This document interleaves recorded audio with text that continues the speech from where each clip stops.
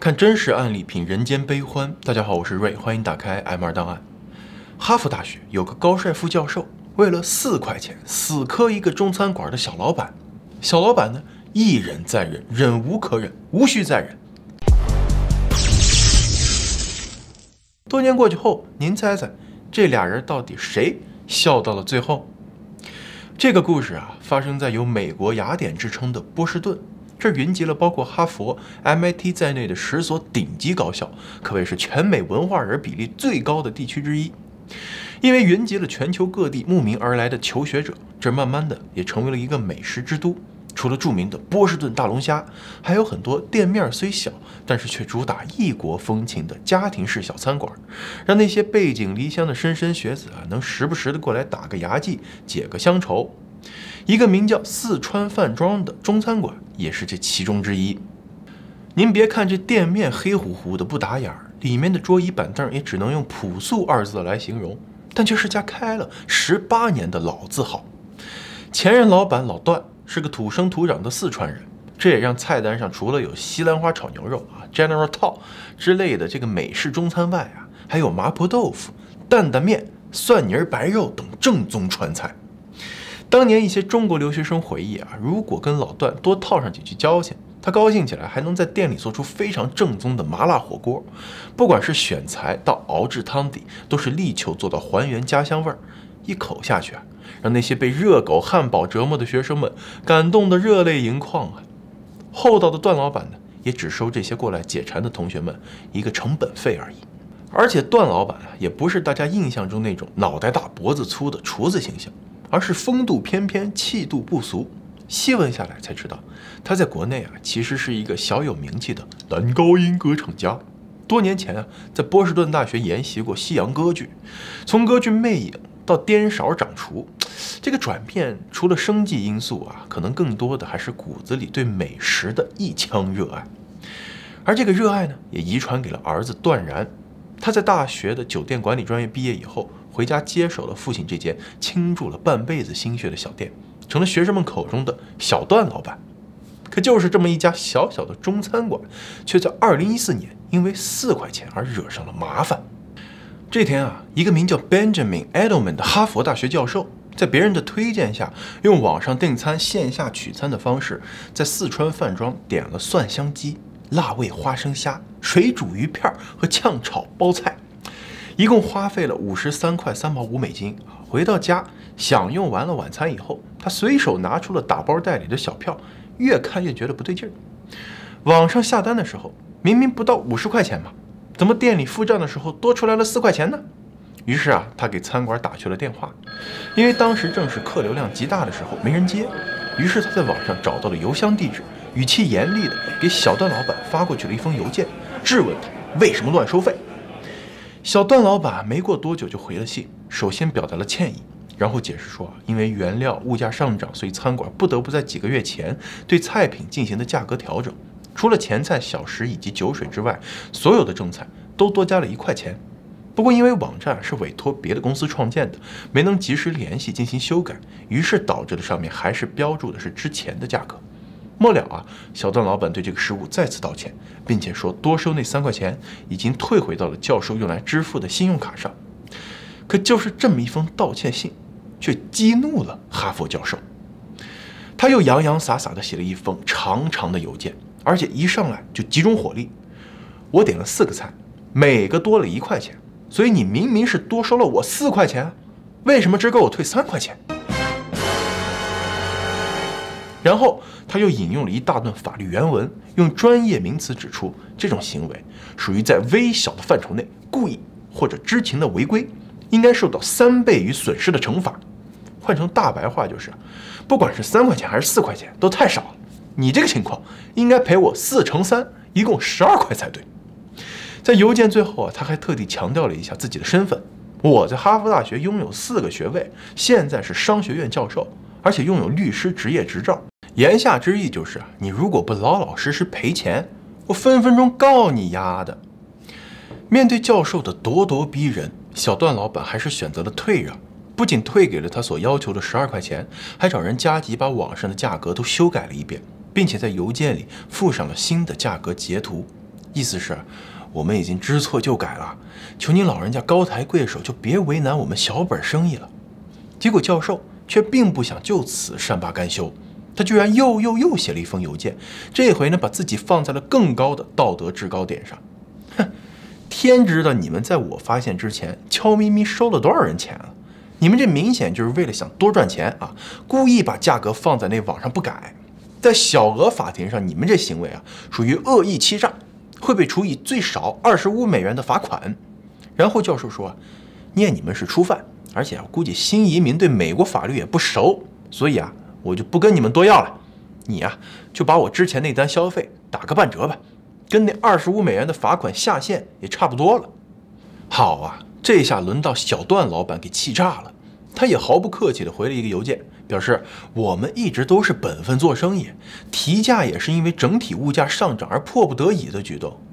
过去几个月里来店里堂食的客人都是按照新价格来支付的，你让我们给网上下单的人退钱，那对于线下来的客人，对他们公平吗？而且啊，就算按照您这么锱铢必较的劲儿，五十三块三毛五半折，二十六块六啊！比你说的二十五块罚款多了一块六，哎，先前是谁在那一块钱上跟我纠缠不清来着？你双标，你了不起啊！这封忍无可忍、不能再忍的邮件啊，彻底点燃了教授的火药桶。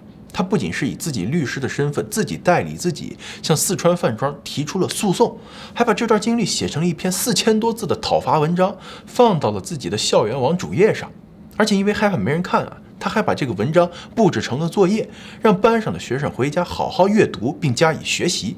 美其名曰要让他们了解如何运用法律作为武器，保障自己的权利，不管这个权利的侵犯是多么的微小。结果这番操作就带来了一个意想不到的反效果。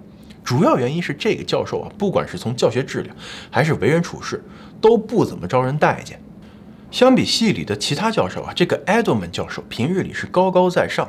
而且严厉的有些不近人情，比如有同学说啊，自己仅仅因为写的文章比他要求的字数超过了四个，而被整个打回来重写；还有同学说啊，作业交上去只得了个 C，但是呢，除了这个评分，通篇看不到任何批改的痕迹。拿过去问自己到底错哪儿了，得到的只是教授一句居高临下的反问：“你自己写的连错哪儿了都不知道？”这么一个面对答疑解惑多一句话都嫌多，批改作业惜字如金的人。居然为了四块钱，不仅来来回回的跟对方邮件 battle 了一个多礼拜，一口气儿写出了四千多字的大作，末了啊还不忘自恋的让学生以作业的形式呢过来观摩。于是啊，学生们纷纷表示：观摩个屁呀！观摩你为了这点钱斤斤计较、小肚鸡肠吗？于是啊，有好事者干脆把这个事儿爆料到了当地发行量最大的波士顿环球报那儿。很快啊，全城老小都知道了，哈佛。出了个四块钱教授。But now he'll forever go down in history as Four Dollar man. Harvard professor has a history of being a prick at restaurants. Thus began an embarrassing and super pedantic back and forth between these two guys. 听说这事儿的人呢，大都跟那些学生一样，一边倒的同情中餐馆，看不起教授的做派。不就四块钱吗，多大点事儿啊？您给闹成这样，连打工挣学费的穷学生，一顿饭的小费给的都不止这个数啊！何况你一个堂堂教授，如果真的那么缺钱，那就不要出来吃饭，自己在家做饭呀。这教授是缺钱吗？有公司的老板跟媒体爆料说啊，之前请这个教授做过一次投资研究报告，结果他开价八百美元一小时，五小时起价。另一份公开的文件中显示，教授在波士顿的富人区拥有一处价值三百二十万美元的豪宅，是个名副其实的高帅富啊。您说说，都这么有钱了？为了区区四块钱死磕一个中餐馆小老板，这人到底是现代葛朗台呢，还是背后另有所图？一向喜欢深挖新闻背景的波士顿环球报啊，当然不会放过他。结果发现，这个高帅副教授是个打官司专业户。早在2000年，他就把两个广告销售公司告上了小额法庭，原因是他们在未经允许的情况下，给当时还是学生的教授发了一堆广告传真。你说这事放到现在，估计就相当于电话推销多打了几通电话，电子邮箱里一堆垃圾邮件而已，都不是个事儿。但是放到二十多年前啊，线上销售的大潮刚刚开始，所以这个事儿对簿公堂也是个新鲜事儿。那时候的教授年轻气盛，再加上法庭上一通操作猛如虎，还真让他在两起诉讼案中告赢了一起，获赔一千五百美元。这个官司虽说是赢了哈，但是却没能得到执行。而对方就是一个小的不能再小的皮包公司，在判决下达之后，就果断申请了破产。教授拿到的也就是一张不能兑现的空头支票而已。不过也不能说这事完全没给他带来一点好处哈。一年以后，他在申请哈佛大学法学院的时候，专门提到了这两起诉讼，用来说明自己对法律一向非常热爱，命中注定是块当律师的料。不能不说啊，抛开人品不谈，这人的确非常聪明。他在刚刚二十六岁的时候就成为了哈佛的助理教授，并且在三年后就成为了这个顶级学府的教授。在这个过程中，他不仅一口气儿读下了四个学位，还考过了司法考试，拿到了律师执照。他拿到执照后，第一件事情呢，就是自己代理自己打官司。二零一零年，他主导了一起针对 Facebook 的诉讼案，起因是他发现 Facebook 的隐私保护上存在一个 bug，有可能会将一些用户的信息泄露给广告商。同年晚些时候，他又把谷歌告上了法庭。原因也是涉及到了用户的安全隐私，因为发现即使用户点了拒绝分享数据，谷歌后台依然有可能拿到私人信息。不过，谷歌和 Facebook 背后养着的可是一个庞大的律师团队。教授自己上阵做代理，这两起诉讼呢，都是还没开庭，直接被对方给碾压了。别说是得到赔偿，就连起诉的费用你都得自掏腰包。有了这两次失败的经历，他意识到跟这些超级大公司打官司啊是胳膊拧不过大腿，于是开始柿子专挑软的捏。初雪公司、办公室清洁公司、租车行啊，在使用这些小公司服务的时候，火眼金睛的教授总能找到他们合同中的一些漏洞，并且揪出来大做文章，而且多半都能成功索赔。不过金额呢也不大，小到几十，多的不过几百，而且这里面。基本都是第一代新移民攒钱开出的小本买卖，尤其是以华裔、韩裔、日裔或者东南亚裔居多。之所以精准打击这一群体，主要还是拿捏住了对方初来乍到，外加东方人性格中本身就带着隐忍和不惹事儿。很多时候呢，对方一听见他说我是律师，马上就闭嘴认栽了，倒不是因为怕打官司，而是觉得打官司呢耗时耗力。白白的在诉讼上浪费掉宝贵的精力和时间，还不如咽下这口恶气，给钱了事儿。而对于教授而言，他可能在乎的还真不是这点小钱，主要是因为这能给他带来一种奇特的心理优越感，觉得自己是用学历和智商对对方进行了降维打击，直到他遇到这个啃不动的小段老板。这些背景信息被披露以后啊，不仅是文化人圈子中觉得这人欺软怕硬、有辱斯文，哈佛的校友们也开始耻于与他为伍。教授同事、诺贝尔经济学奖的获得者 Alvin Roth 在自己的 Twitter 上评价这个事情的时候说：“如果把现在的互联网时代比作当年的狂野西部，那么 Edelman 教授想要把自己塑造成一个正义的警长，可惜啊，他从来都只敢去打那些比他个头小的人。”哈佛法学院的教授也出来用专业知识就在进行打脸。根据法律条文，只有在对方拒绝认错和赔偿的情况下，才会在小额法庭做出最低那二十五美元罚款的判罚。而根据 e d e m a n 教授提供的邮件记录，小段老板几次都是二十分钟之内就做出的回复，不仅反复道歉，还主动提出可以进行赔偿。就凭这一点，小段老板都不符合罚款的标准。相反呢？艾德曼教授不仅仅是咄咄逼人、得寸进尺，不惜用断章取义的方式来威胁对方，他才是知法犯法的那一个。还有不少人啊，将教授和那个穿花哨裤子的法官相提并论。那个事情呢，发生在2005年，美国哥伦比亚特区一个叫做 Roy Pearson 的法官，因为丢失了一条裤子，将一家韩裔洗衣店主告上了法庭，索赔金额高达五千四百万美元。这到底是裤缝欠了金呢，还是裤腰镶了钻啊？当然都不是，而是法官大人挑刺儿。洗衣店广告词儿中“当天洗，当天取，方便快捷，不伤衣物”属于虚假宣传，外加裤子丢失给他带来了巨大的精神伤害，双管齐下，对店主老夫妇进行这么一个天价的索赔。这个诉讼呢，不仅是原因和金额都非常离谱，但是因为法官的一番操作，还真的被民事法庭给受理了。在法庭上，法官声泪俱下，贡献了一场没了裤子我就不能活的名场面。只是不管他的演技是多么突出，陪审团的眼睛是雪亮的。最后，不仅法官输掉了案子，还让他喜提“穿花哨裤子的法官 ”（Judge Fancy Pants） 的称号。而且呀，也正是因为有这个案子珠玉在前，很多法律界人士纷纷表示愿意给小段老板提供免费的律师服务，一定要帮他打赢这个官司，给教授这种拿着鸡毛当令箭的人，给他点颜色瞧瞧。除开这些啊，网上更多的人却是对教授点的那四个菜很感兴趣。有的人在 Reddit 上面专门开帖讨论蒜香鸡、辣味花生虾、水煮肉片儿和炝炒包菜是什么味道。到底好吃吗？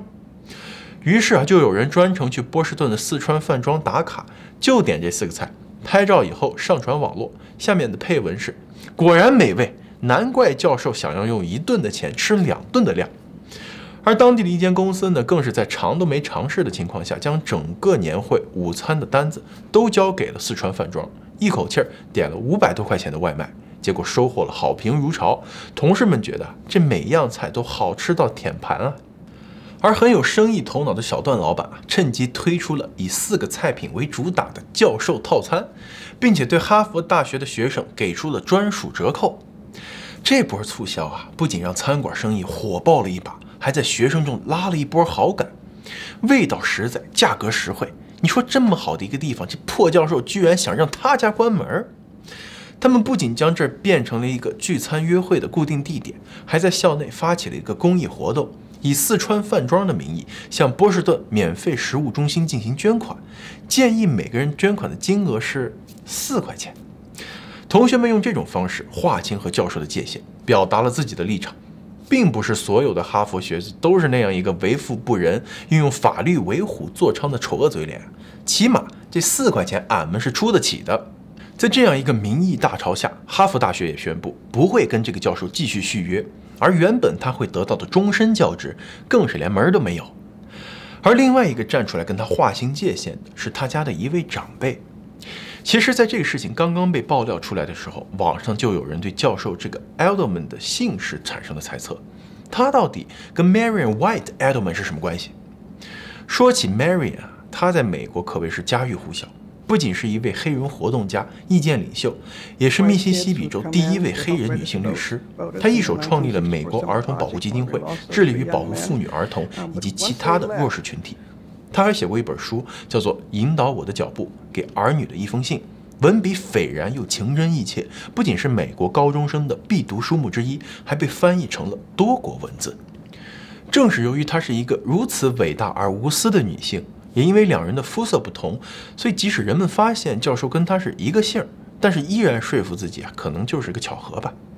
可是这个时候啊，Marian 女士却发表声明说，教授父亲的哥哥是自己的丈夫，她结婚以后呢，才缀上 Edelman 这个夫姓。也就是说啊，Marian 算起来应该是教授的大伯母。大伯母表示啊，自己只在教授很小的时候跟他有过一段时间的交集。当时觉得这个孩子聪明伶俐，如果能够把智商用在正道上，是前途无量。可惜他还是跑偏了，让本来就是惩恶扬善的法律成为了助纣为虐的工具。本来需要保护的少数群体，在他眼中却成为了可以肆意欺凌的对象。他作为一个为了弱势群体奉献了一生的人，对教授的行为深感羞耻和遗憾。唉，为了区区四块钱丢掉了终身教职这个铁饭碗不说，还惹得众叛亲离，最后成为了全国网友的笑柄。也不知道教授是不是连肠子都悔青了。于是啊，他在自己那个校内网上又写了一篇道歉信，说自己死掐中餐馆的行为是由于看到乱收费之后呢，反应过度越界了。其实并没有真的想要起诉小段老板。可是连道歉信你都说的如此居高临下，那自然又在网上收获了一波恶评。而他的霉运啊，也没有到此为止。在离开哈佛商学院以后，他又陆陆续续在几家高校短期任职，不过都没有超过两个学期。因为不管他走到哪儿啊，身上那个四块钱教授的标签都挥之不去。最后，他干脆放弃了教书，在微软谋求了一个分析师的职位。但是，还记得十多年前他因为隐私协议跟谷歌打过官司吗？尽管当时输得非常惨啊，但是那一段打官司的历史早早的就被记在了硅谷各大公司的小本本上。于是啊，他的报告中不管出现了什么跟谷歌有关的内容，都会被自动加上带有主观成见、不够公平公正的标签，而被直接 pass 掉。在这一点上啊，谷歌可谓是做到了君子报仇啊，一直记仇。这么一来二去的搞过几回以后，微软也觉得教授这个人呢是块食之无味、弃之可惜的鸡肋，于是，在合同期满了之后，也没有跟他继续续约。而这个时候啊，偏偏又撞上了全球疫情引发的大萧条，教授各种找工作碰壁，在两年中一直处于一个失业状态。于是他又捡起了打官司的老本行，这次呢将哈佛大学告上了法庭。他认为哈佛在八年前拒绝给他这个终身教授的职位，是因为受到了网络舆论的影响，并没有充分的考虑到他的教学能力。因此呢，他要求赔偿，或者再不济，让哈佛给他一个教职。这个案子目前已经提交，但是具体的开庭日期却遥遥无期。不过我觉得啊，哈佛为了息事宁人赔钱也许有可能，但让他回去任教是根本不可能的。毕竟这四块钱的事闹得这么大，又这么丢人，估计学生选课看到他都会绕道而行。那么另外一边的小段老板和四川饭庄又怎么样了呢？跟落魄的教授相反，他们在过去的八年里一步一步稳稳地走着上坡路。跟父亲更偏好美食不同，小段老板更钟情于美酒。于是啊，他在经营着餐馆的同时，考取了调酒师执照，并且以技术和想象力迅速地成为了业内的一颗闪亮的新星。他不仅把特色鸡尾酒带入了中餐厅，还独创了多种新的调酒，为的就是和热辣的川菜相得益彰。他作为一个年轻的二代华裔，登上了著名的 GQ 杂志的封面，并被评为2015年 Man of the Year。看见儿子如此的优秀啊，老段老板也终于放心，让他在2018年的时候对四川饭庄进行了一次彻底的翻修。不仅在餐厅内扩建出了一处设施齐备的吧台，整个店面呢也装得颇有年轻人喜欢的网红 ins 风，跟之前的小苍蝇馆子是不可同日而语了。但是即便风格转变了，价格却并没有因此水涨船高。根据菜单显示，人均二十美元不仅能够吃到担担面、红油抄手这样的地道小吃，还能吃到水煮牛、酸菜鱼一类量大实惠的硬菜，再配上一杯鸡尾酒特调，简直不要太爽。挺过了疫情带来的餐饮业萧条之后，四川饭庄在二零二一年位列波士顿餐馆排名五十强，餐厅里的小酒吧更是连续两年被评为全城最佳。小段老板还在自己的油管频道上大方地教大家如何在家里制作店内人气最高的特调 Father's Advice。用他的话来说啊，这款酒深沉内敛，入口略苦，但是却有着绵长的回甘，正是代表着他心中父亲老段的形象。不仅是歌唱家、美食家、厨师、慈父，还是顽强坚韧的第一代移民。谁能想到四块钱？最终改变了两个人的命运，一边越走越窄，另一边却是海阔天空。只能说啊，投胎的时候掷骰子，只能决定一个人的开始，之后还是要靠性格来决定一生。感谢收看《M 二档案》，如果您觉得视频还不错，别忘了点赞、订阅、转发支持一下。咱们下期再见。